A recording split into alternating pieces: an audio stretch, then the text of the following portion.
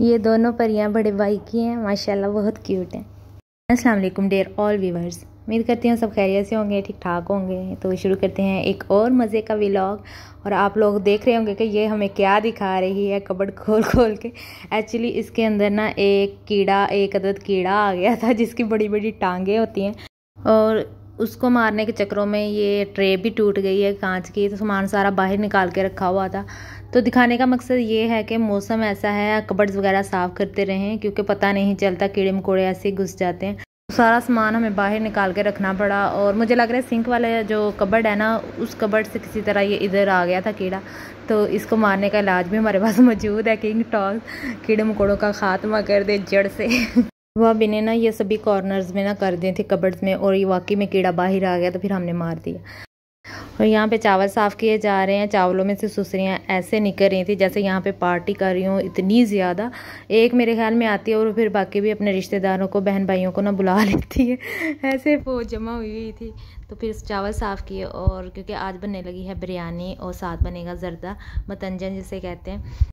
बड़ी भाभी आई हुई थी और साथ दोनों बच्चे आए हुए थे तो हमने सोचा क्यों ना आज डिनर जो है वो एक साथ किया जाए।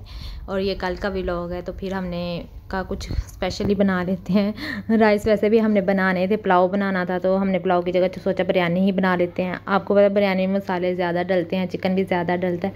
तो ये हमें ना कम लग रहा था तो फिर एक पैकेट बाद में और निकाला। और तीन गिलास वैसे चावल थे, और ये देखें अभी भी कुछ इसके अंदर हैं सुसरियाँ।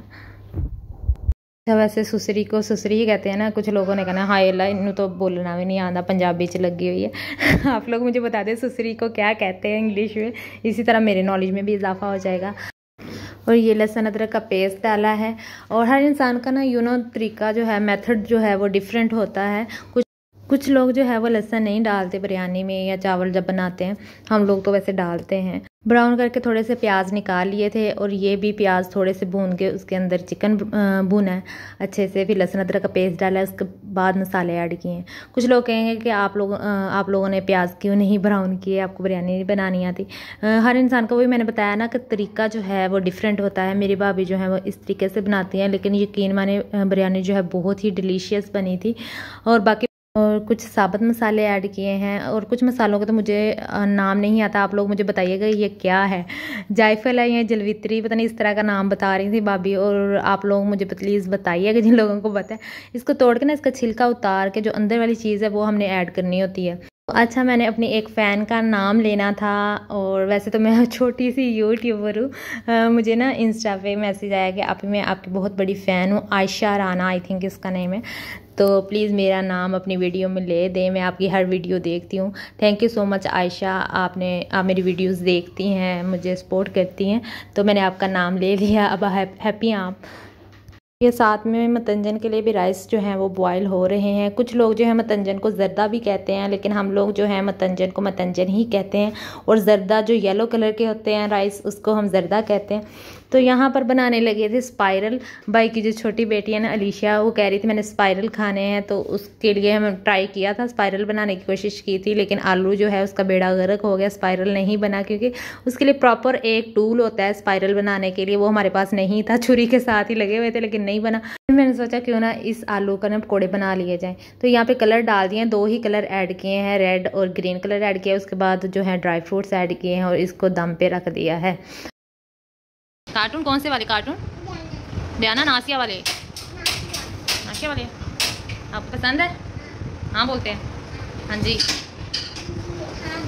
नहीं हाँ जी, बोलते तो ये मेरी नीस यहाँ पे कार्टून देख रही है। कार्टून ही बेबीज़ देख रही हैं, क्योंकि बच्चे जब इकट्ठे हों, उनको एक ही काम होता है, बस ये कि टीवी लगा दो। खाना भी रेडी हो चुका था तो खाना वगैरह खाएँगे। उसके बाद भाभी ने करवानी है वैक्स एक्चुअली भाभी का प्लान है वाकेंट जाने का। वहाँ पे उनकी फूफो रहती हैं। और जाने से पहले वैसे भी वो मिलने के लिए आई हुई थी कि चलो मिल मिल के जाते हैं वहाँ पे हफ़्ता या पाँच दस दिन लग ही जाते हैं, बंदा कहीं जाए इतनी दूर। तो बिरयानी जो है वो रेडी हो चुकी थी, बहुत ही मज़े की देखने लग रही है और वाकई में बहुत टेस्टी थी और इस मेथड को आप लोग वैसे फॉलो कर सकते हैं। आपने वीडियो में तकरीबन देख लिया होगा सारे तरीका के कैसे बनाई है। तो यहाँ पे मैं पकोड़े बना रही हूँ और पकोड़े भी बहुत मज़े के और यमी बने थे। क्योंकि पकोड़े बनाते वक्त ना मैं एक चुटकी जो है वो बेकिंग पाउडर डाल लेती हूँ, इससे बहुत क्रिस्पी से और खस्ता खस्ता पकौड़े बनते हैं तो बहुत मज़ा आता है। तो ये जस्ट आलू वाले पकोड़े हैं, इसके अलावा वेजिटेबल्स पकोड़े भी होते हैं चिकन पकोड़ा भी होता है। वैसे इसकी रेसिपीज़ जो है ना डिफरेंट पकोड़ाज की मैंने अपने कुकिंग के चैनल पे शेयर की हुई है, आप लोग वहाँ पे जाकर देख सकते हैं, जो लोग इंटरेस्टेड हैं। तो वैक्स जो है, इसे पकते हुए 10-15 मिनट हो चुके हैं। अब जाके ये रेडी हुई है ताकि बिल्कुल जब पतली हो जाए ना, इसका मतलब अब आप लगा सकते हैं। इससे फिर पेन नहीं होता, पतली सी लेयर लग जाती है। तो ये था आज का छोटा सा विलोग उम्मीद करती हूँ आपको अच्छा लगा होगा। अच्छा लगा तो प्लीज़ थम्स अप दें। जो न्यू हैं काइंडली काइंडली वो मेरे चैनल को सब्सक्राइब भी कर दें, ताकि मैं इसी तरह के मज़ेदार से व्लॉग्स आप लोगों के लिए ला सकूँ। मिलते हैं नेक्स्ट व्लॉग में। अल्लाह हाफिज़।